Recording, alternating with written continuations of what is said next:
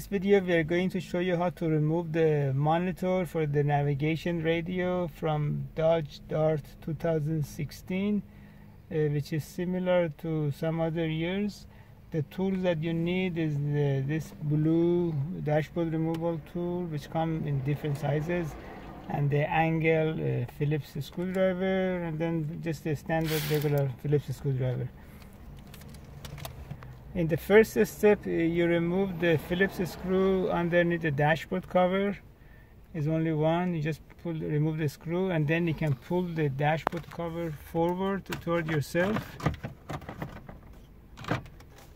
And here we can. These are all the clips which holds it in. And now you will be able to see the mounting screws. Uh, and these are all the screws which you need to remove. Uh, there are total nine uh, Phillips screw which you need to remove it.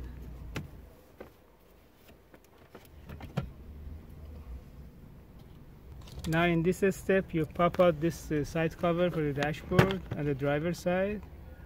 And there are two Phillips screw also here which you need to take out and then once you get it out then you can drop the cover under the steering wheel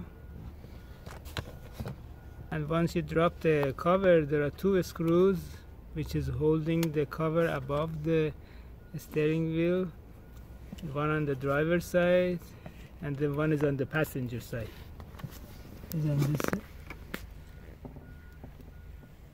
right here. And once you get these two screws out then you can uh, pop out this uh, cover above the steering wheel and just leave it loose like that. And now you can remove the one screw which is holding the the cover for the around the cluster and the monitor. The, the mounting screws are out. You just pop out the this cover around the monitor and the cluster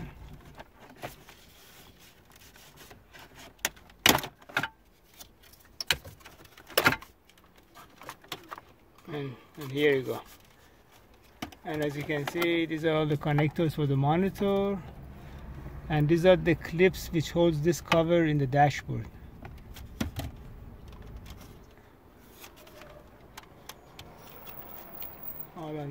So when you insert your tools to pry out uh, this cover just uh, insert it where these uh, clips are.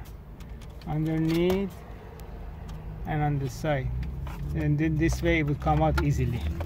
And if you need any repair for the monitor or navigation unit you can send it to Hi-Tech electronic services in Van Nuys California 818 785 8085